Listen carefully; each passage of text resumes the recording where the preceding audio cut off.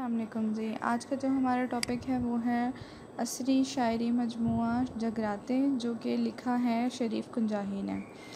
तो हम लोग इस टॉपिक को स्टार्ट करते हैं। ये वीडियो जो है, ये काफ़ी लंबी हो जाती है, इसलिए आज हम इसके दो पार्ट्स करेंगे।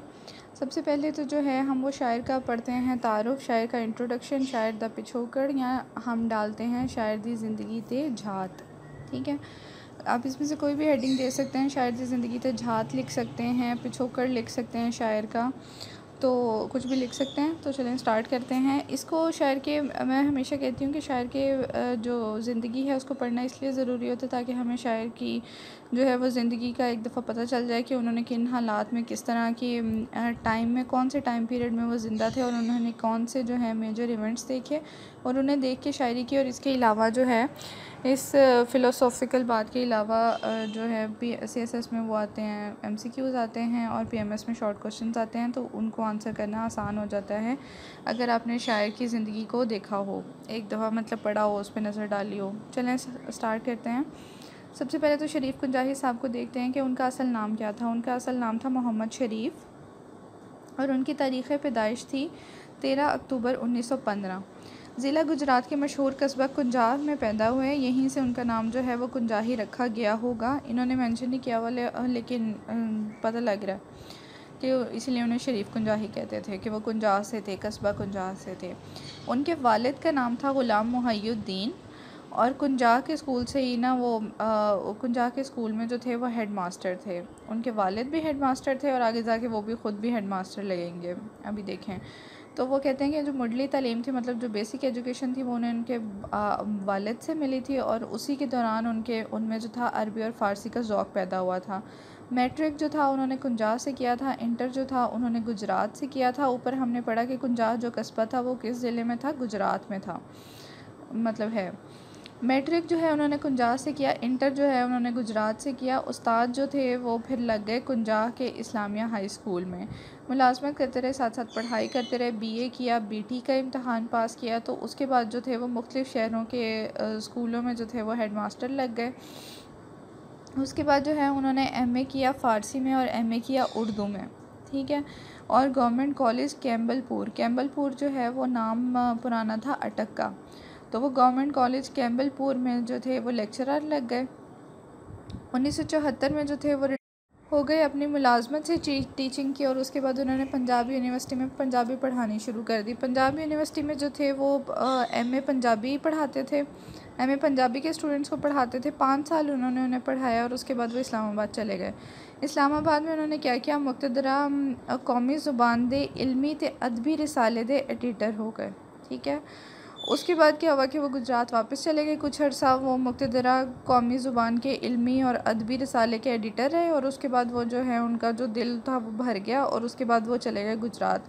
तो गुजरात में वो पैदा हुए थे और वो फिर एंड पे भी अपनी ज़िंदगी के एंड पे भी ना वो गुजरात में चले गए और इल्मी अदबी तहकीक़ा में रुझ गए। तो अब उन्होंने इल्मी अदबी तहकीक़ें बहुत की थी और पंजाबी पे भी उनका बड़ा काम था। तो 2007 में जो था, गुजरात में ही उनका इंतकाल हो गया। 1915 में वो पैदा हुए थे और 2007 में उनका इंतकाल हो गया। गुजरात में ही कस्बा कुंजा में पैदा हुए थे और गुजरात में ही उनका इंतकाल हो गया। अब ज़रा उनकी लिखताओं के बारे में बात कर लेते हैं। मतलब लिखता क्या थी उनकी? मतलब ये राइटिंग्स लिखता बोलते हैं राइटिंग्स को। तो उनकी राइटिंग्स के बारे में बात करें, हम तो उन्होंने लिखा है उर्दू में, फ़ारसी में, अंग्रेज़ी में और पंजाबी में, ठीक है? चार ज़ुबानों में उन्होंने लिखा है। और पंजाबी नज़म की बात करें तो उन्होंने पंजाबी नज़म में जो उनकी बड़ी मशहूर नज़म है, वो यही जगराते हैं। उसके अलावा पंजाबी नसर जो मशहूर है, वो है झातियाँ, ठीक है? उर्दू शायरी की बात करें तो उर्दू शायरी में जो है सितारा सहरी फ़ारसी में जो है दूध दिल ये दूध दिल जो है, ये दाल, वाओ दाल, दूध और दिल मतलब साथ मिला के लिखा हुआ है दूध दिल। उसके अलावा इंग्लिश में जो उन्होंने लिखा था, वो उन्होंने लिखा था Punjabi and Scandinavian language contact. ठीक है?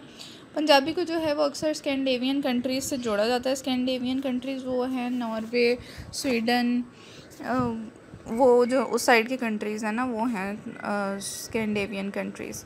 अच्छा जी, Punjabi and Scandinavian language contact जो है उन्होंने इंग्लिश में लिखी थी। उसके अलावा जो है, वो कहते हैं, इसके अलावा इस तो अर्ड कुरान पाक द पंजाबी विच तर्जमा किया खुद बातें इकबाल का पंजाबी विच तर्जमा किया बाबा फरीद के कलाम का उर्दू विच तर्जमा किया जावेद नामा का पंजाबी विच तर्जमा किया नबी पाक सल्लल्लाहु अलैहि वसल्लम के खुतबे ते पंज सूरा का पंजाबी विच तर्जमा किया उसके अलावा अगर हम उर्दू में बात करें, उर्दू की स्पेसिफ़िकली उनकी राइटिंग्स की बात करें, अब पहले तो हमने जनरल बता दिया ना कि उन्होंने ये ये कुछ किया था, अब ज़रा उर्दू की स्पेसिफ़िकली देख लें कि उन्होंने क्या किया था। उन्होंने नज़में लिखने का आगाज़ किया था उर्दू से। तो कोई भी शायर जो नज़में लिखने का आगाज़ उर्दू से करता है ना, उसको बाद में जाके ये रियलाइज़ होता है कि ये मेरी जो है, वो माँ बोली नहीं है मतलब ये जो है, मेरी मदर टंग नहीं है तो मैं जो हूँ, अपनी मदर टंग की तरफ़ मूव करूँ और उधर भी मैं लिखूँ। तो उर्दू नज़म में वो कहता है कि उर्दू नज़म जो है आपने लिखना शुरू की और क्या हुआ? मीर अज्जी ने जिनका असल नाम सनाउल्ला था, मीर अज्जी ने जब जदों जदीद नज़मा का इंतखब शाया किया तो दो नज़मा, जिनमें से एक नज़म का नाम था जंग और दूसरी का नाम था पसपाई।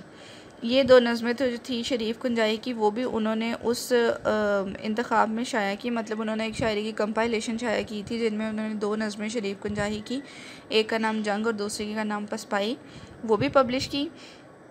इस पब्लिकेशन से हमें क्या पता चला कि जो शरीफ कुंजाही थे, वो उस वक्त के मतलब जो उस वक्त के ट्रेंडिंग एक उर्दू शायर थे, उनमें आपका शुमार होता था क्योंकि मियाँ, मीर मीर अज्जी ने, जिनका असल नाम सनाउल्ला था, उन्होंने अपनी एक पोइट्री कंपाइलेशन में आपकी नज़मों को इंक्लूड किया था।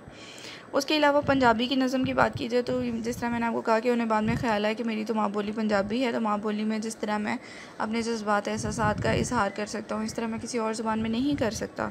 तो फिर उन्होंने क्या किया कि वो पंजाबी नज़म की तरफ़ मूव कर गए। आगे वो कहता है कि पंजाबी नज़म का मुड मुड का मतलब होता है बुनियाद। पंजाबी नज़म का मुड पक्कियाँ तो पीढ़ियाँ नेहा उत्ते रखा गया मतलब जो उसकी बेसिस थी, वो बहुत स्ट्रॉन्ग थी, क्योंकि उर्दू नज़म से आपने काफ़ी कुछ सीखा था, उर्दू नज़म लिखने से। तो फिर जब उसके बाद आप पंजाबी की तरफ़ मूव किया आपने तो फिर उसकी बुनियाद जो थी, वो बड़ी पक्की रखी गई। नज़मा दे मौजूद जो थे, वो पंजाबी में वो क्या क्या थे? रोमानवी भी थे, समाजी भी थे, माशरती भी थे, सियासी भी थे। ठीक है। रोमानवी जो हैं वो उनमें था उड़ीक काम बोले चाननियाँ रातां विच तेनू याद करा, पानी भरन, पिनहारियाँ। पिनहारियाँ ही हैं मेरे ख्याल से ये। ये अब पाँच नज़में हैं। उड़ीक पहली नज़म है काम बोले दूसरी नज़म है, तीसरी है चाननियाँ रातां विच चौथी है तेनू याद करा, पांचवी है पानी भरन, पिनहारियाँ। समाजी नज़मों की बात करें तो तरंजन तरंजन विच खेड लें, बख्त ना विगदे मुल बख्त ना विगदे मुल दे और माशरती नज़में जो थी, उनमें भी जो था हमारे पास कुछ नज़में हैं, उनकी जो सोशलिज़म से रिलेटेड हैं, जो ऑप्टिमिज़म से रिलेटेड हैं मतलब जो एक जिससे साबित होता है कि आप रजाई के शायर थे, आपने हमेशा उम्मीद दिलाने की बात की थी। उन नज़मों की भी मिसाल मैं आपको बता देती हूँ कि वो नज़में कौन सी थी। तो आगे अब हम चलते हैं और उनकी शायरी की बात करते हैं। जिस तरह ये माशरती नज़म है, एक जिसकी जिसकी मिसाल दी गई है, और वो है मेरे बोल ओले। इसमें वो कहते हैं, शायर कहते हैं कि अच्छा ये इसको पढ़ के चलें हम इसे पहले पढ़ते हैं जे मैं आखा दुनिया उत्ते बेघर ना कोई होवे जे मैं आखा बुढ़े वेले टोकरी ना कोई ढोवे जे मैं आखा मिसा लूना सारे रल के खाइए एक दूजे ਦੀਆਂ ਬਾਵਾਂ ਬਣੀਏ ਨਾਲੇ ਭਾਰ ਵੰਡਾਈਏ ਮਾਰ ਮਕਾਊ ਗੱਲਾਂ ਦੇ ਵਿੱਚ ਨਾ ਹਫੀਏ ਨਾ ਖਪੀਏ ਤਾਂ मैं भेड़ा ਤਾਂ मैं झूठा मेरे बोल ओले चंग ਤੁਹਾਡੀ हट्टी विकदा सच ਤੁਹਾਡੇ पल्ले अब ये देखें, इसके अंदर जो है उन्होंने सिंपल सी बातें की हैं। एक मतलब माशरे का वो उन्होंने अक्सी की है कि एक आम इंसान की बात है ये। एक आम इंसान जिसने इंसानियत की बात की है कि आपको भी दुख होता है कि अगर कोई कोई बेघर हो, आपको भी दुख होता है। अगर कोई बूढ़ा शख्स काम कर रहा हो, आप अपने पास देखें तो अगर कोई बूढ़ा शख्स बहुत मेहनत कर रहा होता है तो आपको कुछ होता है कि मतलब भाई, क्या इसकी मजबूरी हो सकती है या इसको कोई क्यों नहीं संभालने वाला? अगर कोई वो शायर कहता है कि, मैं कहता हूँ कि मिसाल होना का मतलब होता है कि कुछ अच्छा है, कुछ बुरा है, मुनासिब है, सारे मिल के खा लें। एक दूसरे के, का जो है वो हम लोग सहारा बने। उसके अलावा हम लोग रफड़ों में ना पड़ें, फड्डों में ना पड़ें। और वो कहते हैं कि, तुम लोग झूठे, तुम लोग मुझे झूठा कह लो, तुम लोग सच्चे हो और तुम लोग ये जो हो ना वो सारे पाक पवित्र हो, सच्चे हो, मैं जो हूँ, मैं झूठा हूँ। ठीक हो? तो मेरे बोल ओले जो है, इनकी एक नज़म है। अच्छा इसमें एक और भी है, बात है कि अगर आपको ये पूरे शेर याद नहीं ना होते तो आप इसमें से कुछ लिख दें। जिस तरह, जे मैं आखा दुनिया उत्ते बेघर ना कोई होवे, जे मैं आखा बुढ़े वेले टोकरी ना कोई ढोवे। तो ये ना, ये पहले चार लाइनें भी लिख दें आप तो मेरा ख्याल से ठीक ही होगा, अगर आपको पूरा याद नहीं होता तो। ओके जी, सोशलिज़म की झलक जो है, वो आगे हम देखते हैं कि सोशलिज़म का ये मतलब होता है कि रिसोर्स की ना तकसीम होनी चाहिए सब में। और जो कैपिटलिज़म होता है, वो इसके अगेंस्ट है और वो ये कहता है कि मतलब जिसने जितना काम किया है और इंडस्ट्रियलिस्ट जो है, उसको पावरफुल होना चाहिए और जो है, वो इंडस्ट्री चला सकता है। और जो सोशलिस्ट होते हैं, उनकी ये सोच होती है कि जो इंडस्ट्रियलिस्ट होता है या जो कैपिटलिज़म है, वो मज़दूर को मार देता है। तो उसके लिए उन्होंने लिखा है कि दिन चढ़े ते टोकरी ढोन लगे, शामी छिलड़े दा रवादार होवे, आवे घर ते खान की लबे रोटी रुखी रोटी ते नाल अचार होवे। अब वो यही बताना चाहते हैं कि मज़दूर जो है, वो सारा दिन काम करता है, सारा दिन पिसता है और उसके अलावा जो है, उसको छिलड़े रवादार होवे कि मतलब उसको थोड़ी सी उसकी उजरत मिलती है और उसके बाद जब वो घर आता है तो उसको खाने को क्या मिलता है? सूखी रोटी और साथ अचार मिलता है। तो उन्होंने एक तरफ़ से, एक तरह से ये नाइंसाफ़ी बताने की कोशिश की है माशरे की, कि हमारे माशरे में इस तरह की नाइंसाफ़ी होती है।